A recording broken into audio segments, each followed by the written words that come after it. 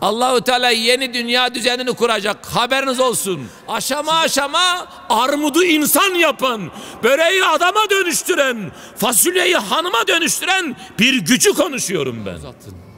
Namaz kılmayanlar, namaz kılmayanların mekanları hakkında bir basın açıklaması yapar mısınız ya Resulallah diye çevirin şu mikrofonu ya peygambere uzatın. Bir Senin gündeminde 24 saatte namaz yok ki namaz kılamayışını bir mazeret listesiyle savunasın. Ne kadar ayıp bir şey ya. Ya gündeminde örtü olsa yolunu bulursun bacım. Gündeminde zikir olsa bir ara arazi olur çekersin. Gündeminde arkadaşlar güzel şeyler olsa Allah fırsat yaratır. Bir doğum olacak. Tüm sistem boşanacak. Allah diye kendinden geçeceksin güzelim. Çok rahatsın. Ara sıra düşünsen iyi olur. Vallahi bunu yaşayacaksın. Eğer yaşarsanız bizi hatırlarsınız. Rahmetlik Aşık Veysel Dostlar bizi hatırlasın, dostlar bizi hatırlasın derdi değil mi? Hatırlayacaksınız. Bismillah ve, settezkurune ma akulu lekum dediklerimi teker teker o gün düşüneceksiniz diyor Allah. Firavun'un sarayında imanını gizleyen bir yiğidin tebliği bu. Eyvallah öyledir. Otomatik bir doğum var. O gün gelecek. Allah doğru söylüyor. Ve kucağındaki bebişin emziren bir anacık hiç çocuğunu bırakır mı ya? Kessen bırakmaz. Bu Bosnersek seferi sırasında çok şeyler duyduk ama oraya gittim imanım arttı. Bir komünist ezilme ve preslemenin altında kalmış. İmandan, İslam'dan bir şey öğrenemediği için de tabii ki çok büyük bir zaafa, kayba uğramış. Ahirete hayal gibi cenneti cehenneme var yok inanan bir topluma dönüşmüş.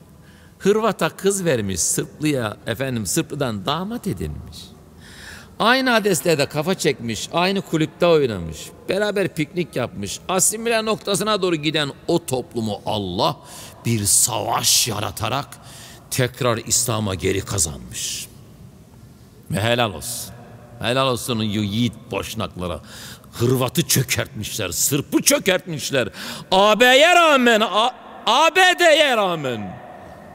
Ali İzzet Begoviç gibi bir Hazreti Hamza modeli, bir Hazreti Ali modelini benimsemiş, o yiğidin komutasında, liderliğinde destan yazmışlar. Unuttunuz Orta Doğu'ya çok kilitlendiniz.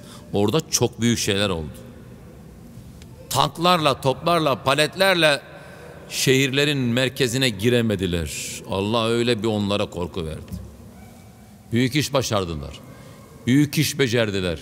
Ne derseniz deyin. Arkadaşlar tebrik ediyorum. Ölenlerini Allah şehit saysın. Yaşayanlarını gazi saysın. Allahu Teala onları tam böyle yeni Osmanlı, ehli sünnet vel cemaat. Uçta seyreden ve habilikten korusun. Şiadan korusun. Doğal bir ehli sünnetin evlatlar olaraktan yeni Osmanlı'yı Allah orada tekrar ayağa kaldırsın. Göndere o güzel bayrağı Allah çektirsin. Arkadaşlar Dayton'ı Allah başlarına geçirsin düşmanların yeni bir Bosna Hersek yapılanması lütfeylesin. Bir kampta bir doğum konusunu anlattılar da şimdi doğumla alakalı Allah'ın verdiği bilgiyi sizinle paylaşmadan arkadaşlar herkes bana kilitlensin ya. Şöyle iyi dinleyin bak ben bütün hücrelerimi konuşturuyorum. Tırnaklarımın dibinden konuşuyorum ben. Dil ucuyla konuşuyor muyum ben? Beyler, hanımefendiler. Mi diyorum ben? Neyim var neyim yok dökmeye çalışıyorum. Siz de ona göre bir alıcınızı iyi açın ya. Alışveriş iyi olsun arkadaşlar. Lütfen rica ediyorum. Bir toplama kampındalar. Hanımlardan oluşan bir kamp. Bir hanım kızımız genç bir gelin doğum yapıyor. Hanımlar etrafını birkaç halk oluşturmuşlar aman Sırp asker görmesin ne olur ne olmaz korkusuyla. Çocukcağız yani bebek doğar doğmaz Tabii çocuk ne bilecek kampta mıdır, sokakta mıdır, evde midir, doğumhanede ağlamaya başlamış. Bebek doğar ne yapınca Sırp askeri ne oluyor demiş. Kadınları yara yara gelmiş. Anasının kucağından ebelik yapan o doğal ebenin elinden bebeği almış asker. Yere atmış postallarla çiğniye çiğniye patladı da patladı öldürmüş. Anası sadece bayılmış ne yapsın? Sadece. Bu çok basit bir örnek. Buna benzer neler çocukları kıyma makinesi çekip de anasına yedirenler mi arıyorsunuz arkadaş? Neler neler neler.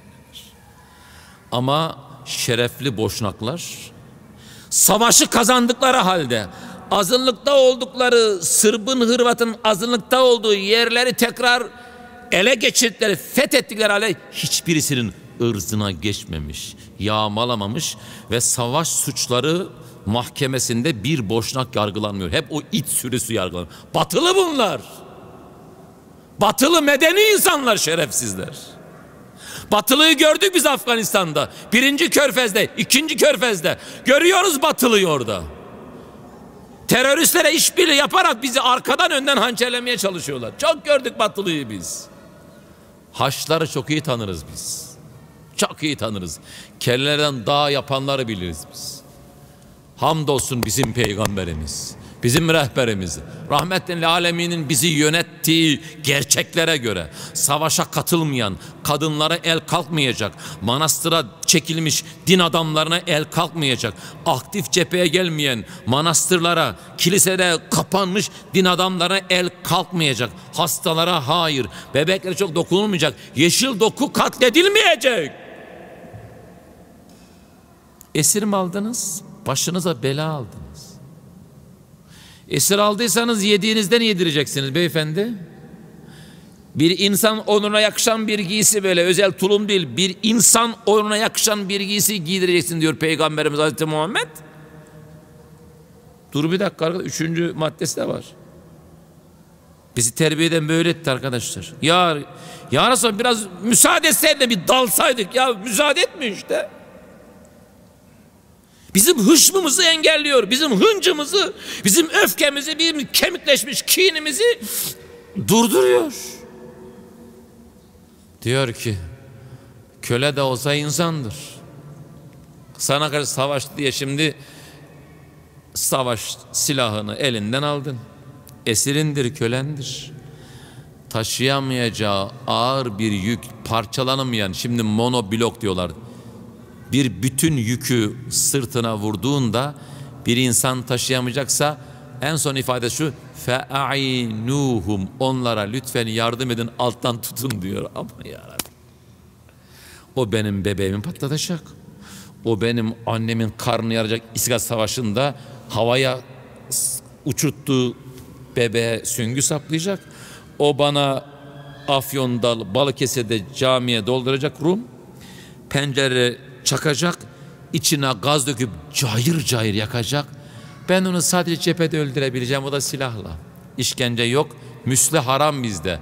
Organ keserek, işkence ederek asla öldüremezsiniz. Hani bazı bizim Kore gazisi, Kore'de ne şehitlik var ne gazilik var kimseyle oynamayın.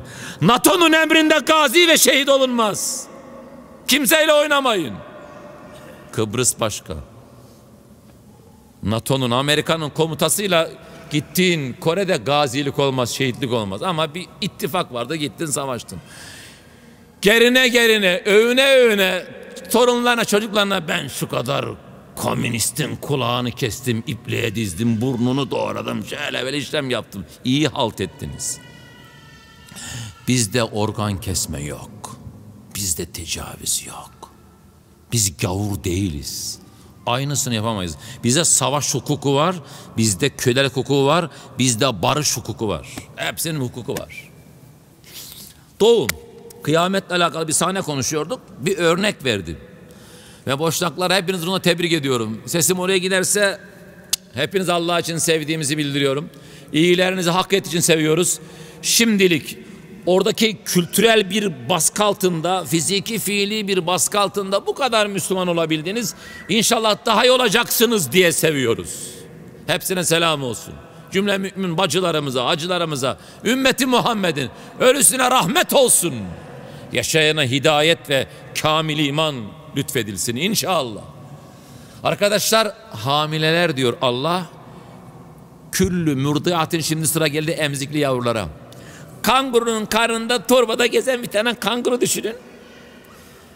1090'lı yıllarda Avustralya'ya Ramazan-ı Şerif hizmetçi olarak gittik. Çok bereketli oldu. Ramazan-ı Şerif'ten sonra bizi gezdirdiler. Queensland'a gittik. Yani denizden o güzelim, yakışıklı, insanın çiğ çiğ yesi gelen penguenleri gördük. Kangurularla yarış yaptık. Broken Hills diye meşhur şu anzakların gönderildiği bizim bir kasapla dondurmacımızın anzakların böyle savaşa gönderdiği askerlerinin vagonlarını kurşunlayarak orada cihad ettikleri, şehit oldukları o yiğitlerin bulunduğu bir ile gittik 850 kilometre. O hayvanlar bizimle yarış yaptı. Torbasındaki bebekleri var onların kucağında.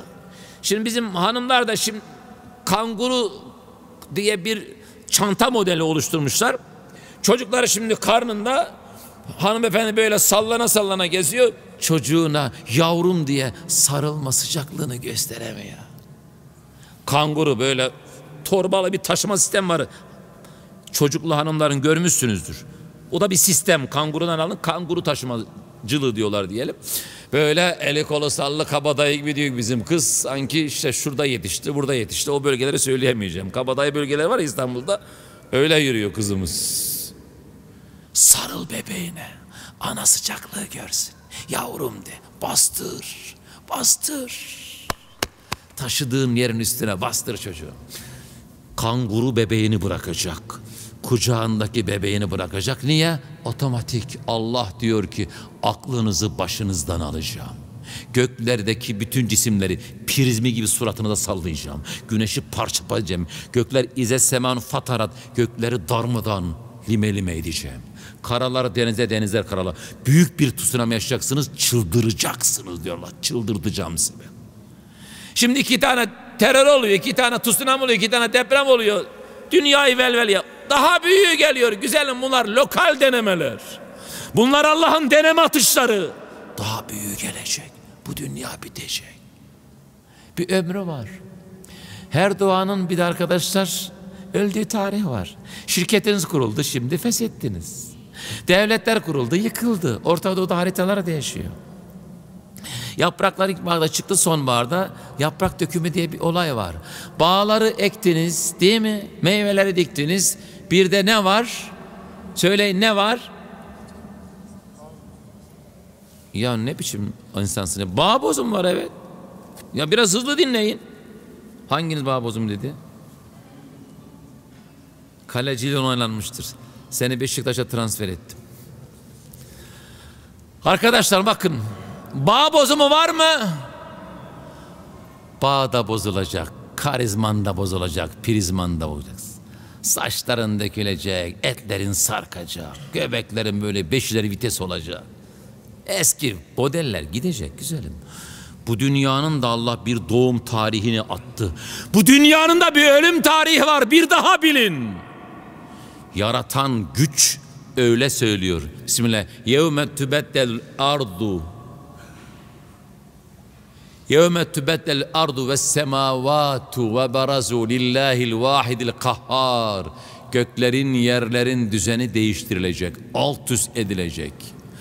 Arkadaşlar yeni dünya düzeni kurulmadan, Amerika'nın dediği olmadan Allah yeni dünya düzenini kuracak inşallah. O isteyene nail olamayacak. Ne kara olan ne kahrola Trump. Hiçbirisi nail olamayacak. Allahu Teala yeni dünya düzenini kuracak. Haberiniz olsun.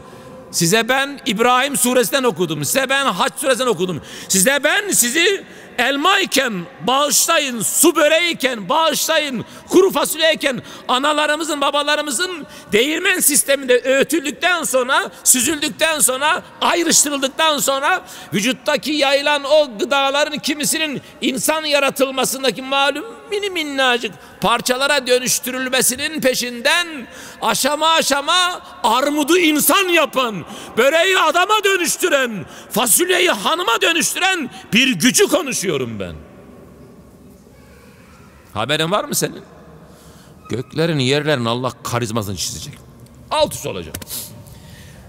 Ve berazillel vaad ezip geçen tek güç Allah'a böyle esas duruş yine oraya geldik dizilecek dikilecekler.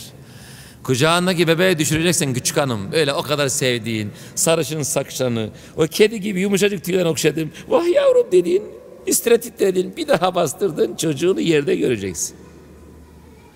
Yüklendiğin çocuğu otomatik bir sistemle doğuracaksın. Hiç farkına varmayacaksın. Çocuk doğacak farkına varamayacaksın. Vallahi böyle olacak. Aklını baştan alacak. Heh böyle bir gün bitti ayağa dikildiniz. Esas duruş dedi Allah ayağa dikti. Adem peygamberden itibaren evlatlarla başlayan bir operasyon. En son gavuru Müslümanı Allah saf saf sıraya dizdikten sonra hiçbir kımıldama yok. Sadece şu var Sure-i Taha'dan bir cümle söyleyeyim. Ayetten bir ufak cımbız sevgili kardeşlerim. Fela tesma illa hemse sadece soluk, nefes. Bu var. Yanınızdaki hanımefendi farkında değilsiniz. Beyefendi asla tanımayacaksınız. Mümkün değil. Çok. Çok ince işler var. İşte o günde Allahu Teala size dönüyor. Bir önemli gerçeği sizinle paylaşıyor. Size hatırlatıyor. قال الله هذا يوم ينفع الصادقين صدقهم لهم جنات لهم جنات Allah be. Maide sondan ikinci ayet. Allah dedi ki bugün dürüst insanlara dürüstlüğünün fayda verdiği gün onlar için cennetler buyursunlar lütfen diyecek. Allah'a dürüst müsün sen? Beş vakit üzerinden, haçtan oruçtan, zikirden, helal harama çizdiği sınırlardan, yaktığı yeşil veya kırmızı lambalardan, dürüstlüğün ne boyutta? Hanımına dürüst müsün, kocana dürüst müsün? Dürüst esnaf mısın? Dürüst müşteri misin? Dürüst siyasetçi misin? Dürüst halk mısın? Dürüst bir insan mısın sen? İçin dürüst mü? İşin dürüst mü senin? Sözün dürüst mü? Doğru mu? Adam mısın? Adam mısın? Korkma zaman. Korkma zaman. Kulaklar hayırla çınlasın. İstanbul'un en ünlü hatiplerinden akrabalığımızın da olduğu bir mübarek zat var. Şimdi hasta Allah şifalar versin. Burada pek özel isim anmamaya çalışıyorum burası. Aynı zamanda Diyanet İşleri Başkanı'nın yönetiminde vakıf ve Diyanet ittifakıyla iş bile hizmet gören bir cami. Burada kişisel reklamlar, özel oluşum ve cemaat reklamlar yapılmıyor biliyoruz. Burada Müslüman kardeşler toptan pazar selam merhaba diyoruz. Güzel bir örnek vermişti bu konularda hiç unutmuyorum. Kurtla kuzu arkadaş olmuşlar. Kuzu kurdu tanımıyor. Böyle bir işte tuzağa düşecek ama kurt da onu tam ağzına yakşan böyle güzel bir manzarada yemek istiyor. Böyle çalı çırpara da değil de böyle hani siz pikniği nerede yapıyorsunuz? Hayvanlara da biraz böyle hak verin ya. Dere kenarında şılı sılı akıyor. Ağza kalınca orada böyle yıkayacak falan filan. Böyle ağzına layık bir yerde yemek için kuzuyu taş bir yerlere götürmeye çalışıyor. Yolda konuşuyorlar. Ne var ne yok falan. Kuzu kurdu tanımadığı için tatlı tatlı böyle meleyerek gidiyor. Ara sıra bir yeşil ot buluyor. Ondan bir ısırıyor böyle hopluyor zıplıyor. Fakat kurt özgür yürüyemiyor. Hemen yere araz oluyor. Bir çıtırtı duysa. Bir patronuz hemen bir ağacın arkasına saklanıyor. Yani sürekli hareketler anormal. En son kuzu çatlıyor. Ya hayvan efendi. Ula hayvan ula hayvan diyorlar. Beyefendi veya hanımefendi neyse artık. Niye heyecanlanıyorsunuz? Şu güzelliklerden etkilensenize bakın. Ne kadar bir yeşil doku, tonlu, farklı tonlar, çiçekler. Hava temiz, şırıl şırıl sular. Keyifli keyifli yolculuk yapalım. En sonunda artık baklayı çıkartıyor kurt. Küçük hanım, alacak kuzu sen beni tanımazsın. Bana kurt derler. Çok çobanın canını yaktım. Çok sürüleri talan ettim.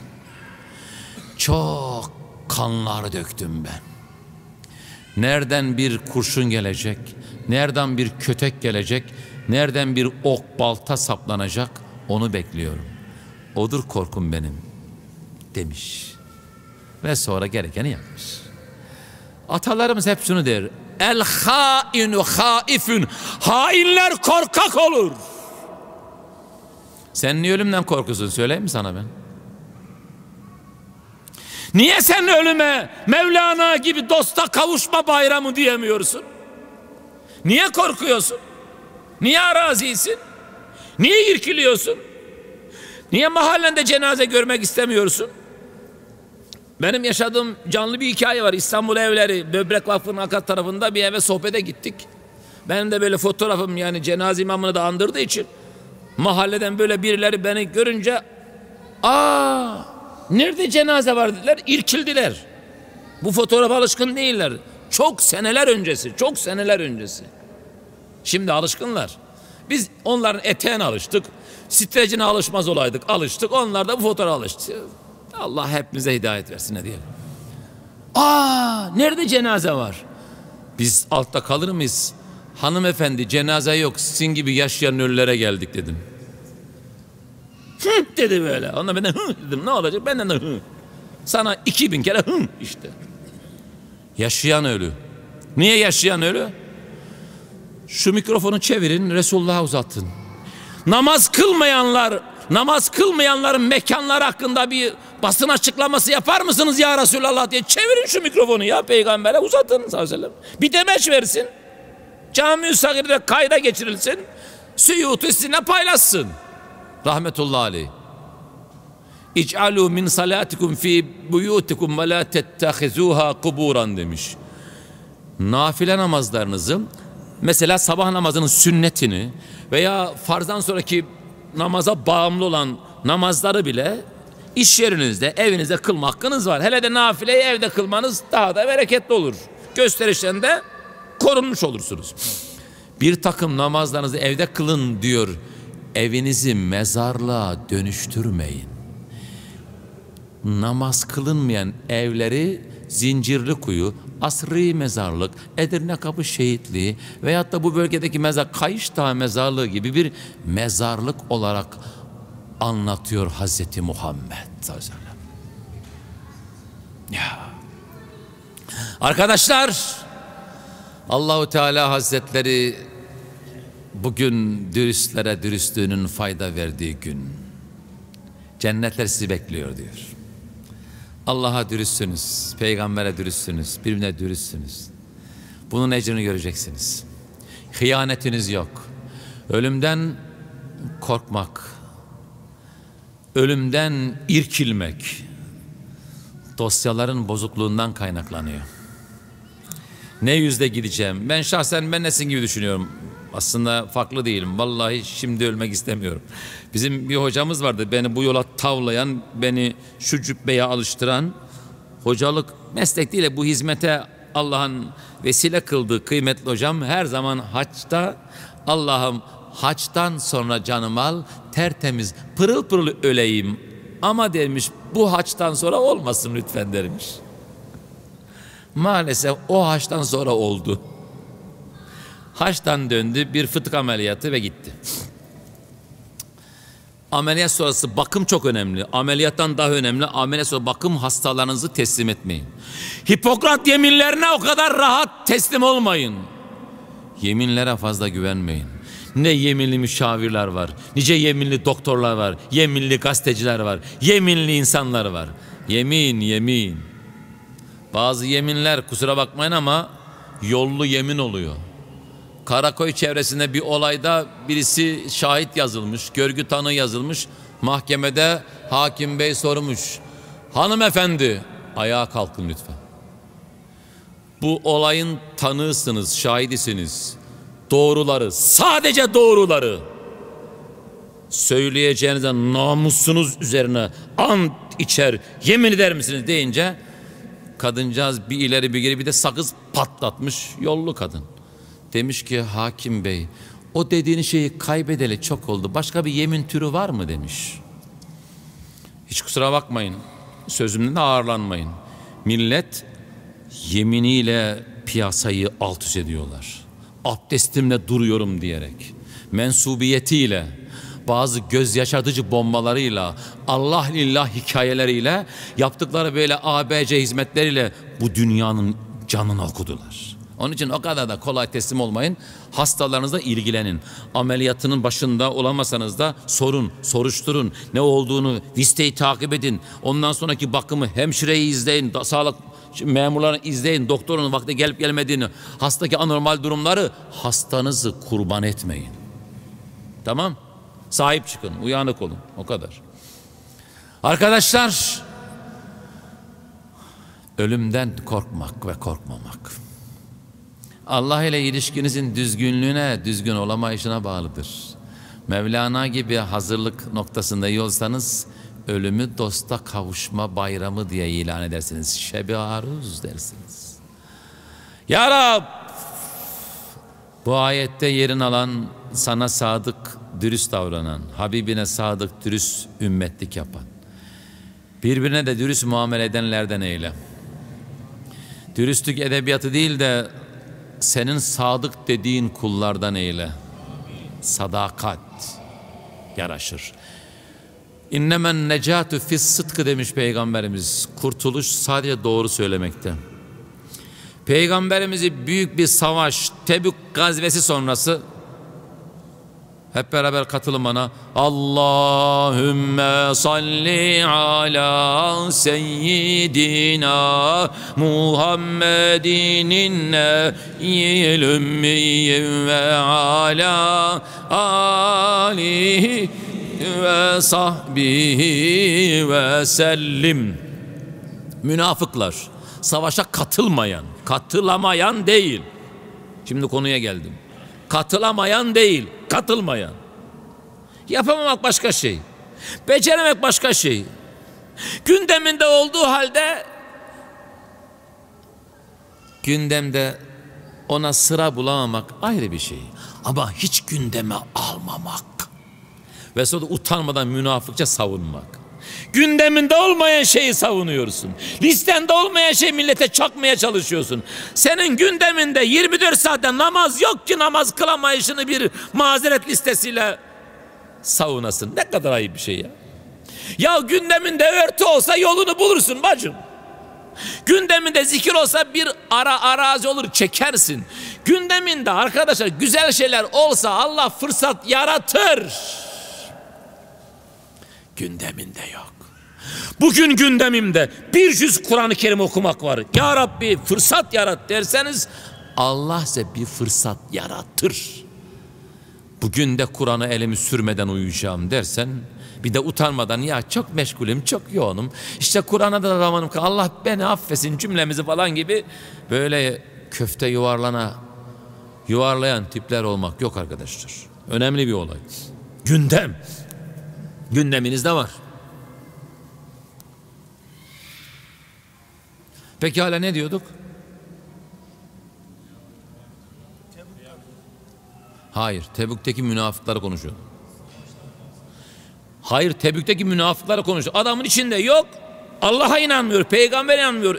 Öldükten sonra dirilmeye inanmıyor fakat toplum İslam toplumu olduğu için o topluma Müslüman gözükmenin işte avantajları var. Ondan yararlanmak için Müslümancılık oynuyor. Bunlara münafık diyoruz.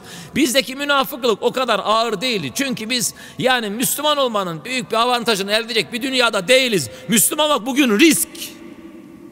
Başörtülü hanımlar Avrupa'da sokağa çıkamıyorlar. İki tane yetiştirdikleri Almanca konuşan IŞİD yüzünden Belçika gibi İslam'a en toleranslı, en özgürlükçü ülkede bu patlatmayı yapıyorlar. Özel seçiliyor bu işler. Nedenlerine gidin bakın tıklatın. Bugün risk. Hele de çerçevenizi bir de Hz. Muhammed'in sakalını bırakacak olsanız biraz daha uzun bıraksanız var ya bitti tam. Damga onların bir ara baş belası El-Kaide ile işi kestiler. Türkiye'de efendim bir tane 28 Şubat'ın oyuncakları vardı adını vermeyecek pisliklerin. Onlarla başörtülerle oynadılar bilmem filanca Şahin soyadlı bir kadınla oynadılar. Bir başkası oynadılar. İşleri bu arkadaş. İşleri yolu tıkamak. Delikanlıca, mertçe fikirlerle savaşmıyorlar. Necip Fazıl'ın ölüm yıl dönümü Allah rahmet eylesin. Mekanı makamı cennet olsun. Gazetecilerin çalıştığı yer eskiden Emin'in rampasında, valiliğin o çevrede Babı Ali Yüksek Kapı diye Türkçe tanımlanacak bir yerde çıkardı şu meşhur gazeteler. belden aşağı vuran görüntülerle piyasa yapan gazeteler onlara bir gün şöyle bir düello teklif etti. Gelin dedi. Bugün çarpışacağız. Başa baş, dişe diş. Sizde ne varsa bizde ne varsa vuruşacağız. Ama kalemlerle vuruşacağız. Tık yok tıs var. Ertesi gün çıkarttığı mevkutede attığı başlık şu. Ben size kalemle geliyorum. Siz bana kadın iç çamaşırıyla cevap veriyorsunuz. Ben aslında daha derin söylemişim ama onu söyleyemiyorum. Niye kadın iç çamaşırı? O gün çünkü kadınların işte bağışlayın açık saçık isimlerle, romanlarıyla, görüntülerle, sporda bile onların frikik manzaralarıyla piyasa yapıyorlar. Müslüman fikirle geliyor, o cinsellikle geliyor. Müslümana koyacakları bir alternatif yok, bir fikir yok. İçimizden az akıllı, ahmak dost düşmandan daha kötüdür. Bir deli kuruya bir taş atar, bin akıllı çıkartamaz. Bugün bir eşkıya kuyuya bir taş atıyor, binlerce Müslüman çıkartamıyoruz. Delikanlıca göğüs göğüse şu kitabın kurallarıyla, Resulullah'ın uygulamasıyla karşımıza dikilemiyorlar. Bitmişler. Ancak böyle çelme takarak engellemeye çalışıyorlar arkadaşlar. Çengelleyerek. Bu sohbetlerimizi sürdürebilmemiz için lütfen bu videonun altındaki süper teşekkür butonuna tıklayarak destek olun. Sizin katkılarınız sohbet kanalımızın devamlılığı için son derece önemlidir. Hayra vesile olan, hayrı yapan kimse gibidir. Daha geniş kitlelere ulaşmamız için videoyu beğenip paylaşmayı unutmayınız.